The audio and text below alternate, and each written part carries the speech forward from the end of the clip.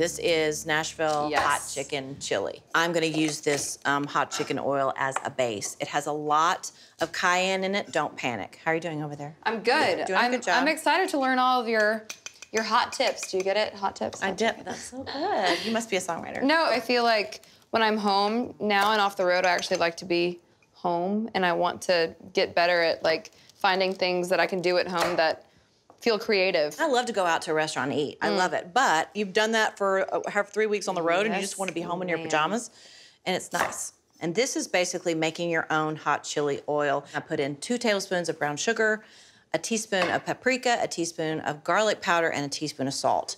I'm just gonna whisk that all together. All right. You are good. I'm gonna use about a quarter cup of this hot oil, and we're gonna save the rest. It's spicy. It's looking spicy. And then you can just go in. Spread on in? Yep, Okay. beautiful. We can mix them together. That's Yeah. all right. I'm gonna boss you around and ask you to grab some chicken because we can't have chili I got without, you. can't I have can do chicken chili without chicken. There's a couple of packages of ground chicken in the fridge. Okay. I'm just gonna put this chicken right in. Yeah. So my mom would do like turkey-based chili. Yeah. And her secret trick, which I still don't know what it did, but she would put beer in it. She secretly probably was drinking a beer. Yeah, while she, was probably making had the rest of it and just put the last one in. Yeah. So I've got some white cannellini beans back here that I have Yes, drained. ma'am. Do you mind grabbing those? Mm-hmm.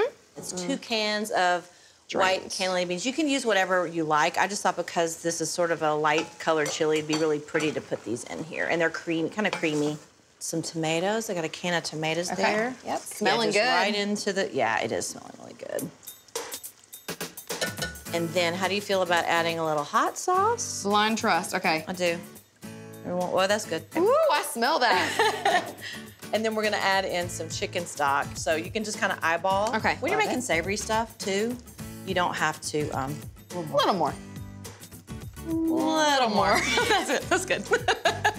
now I'm gonna let this simmer just a little bit. Ready to try this chili? Mm, it's sizzling. It's gonna change your life. So we're gonna put some chili in. I'm gonna ask you to dollop a little bit of sour cream in the middle. And then I've chopped up some bread and butter pickles. If you've never had pickles and chili, you're gonna love it. I haven't actually, but I love pickles. and then hand it back to me, and I'm gonna drizzle a little more of this hot oil on the top. Okay. Just for another nod.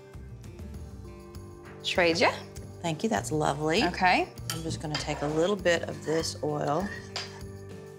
Just a little more. All right, and then we're going to have a seat. Give you a little plate. Yeah, thank you. All right, moment of truth. That's right. You try it first. I'm nervous. Oh yeah. I'm nervous that my mouth's gonna be on fire. Mmm.